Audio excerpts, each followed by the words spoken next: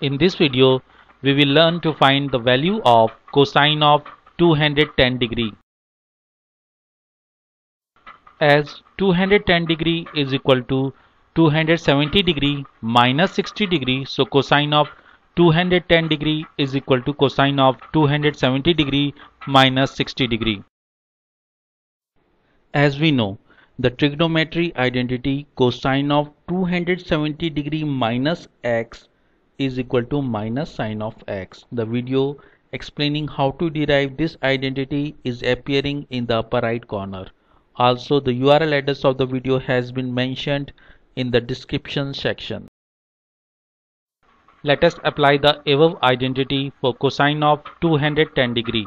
Here x is 60 degree. So cosine of 210 degree is equal to minus sine of 60 degree. We know the value of sine of 60 degree is equal to square root of 3 upon 2. So the value of cosine of 210 degree is equal to minus square root of 3 upon 2.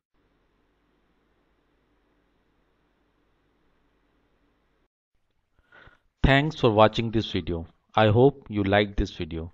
Please press the like button if you liked this video. To view latest videos, do not forget to press the subscribe button and to click the bell icon for notification of the latest video. You are most welcome to express yourself about this video in the comment section or if you want me to develop a video on any other topic. Thank you